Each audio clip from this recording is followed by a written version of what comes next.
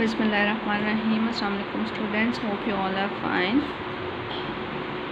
As in previous uh, chapters, you have studied about plants, animals, and their structures and characteristics in detail.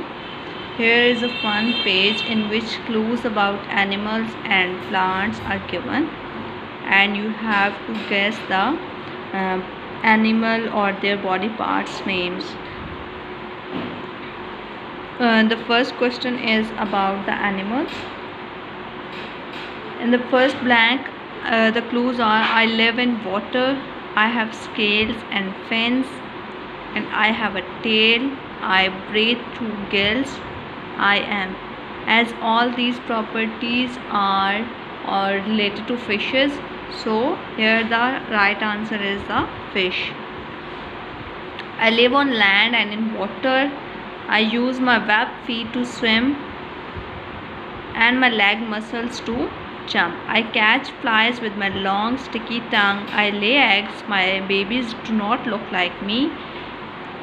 Uh, as frogs are the frogs are the animals that can live on land and in water as well. They use legs to jump when on land and uh, feet to swim when in water and all these properties related to frog. So the right answer is frog.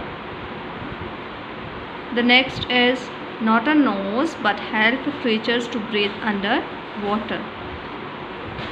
Uh, the nose is the body organ or the body part used by uh, animals uh, for the breathing or exchange of gases while the animals or aquatic animals or animals underwater use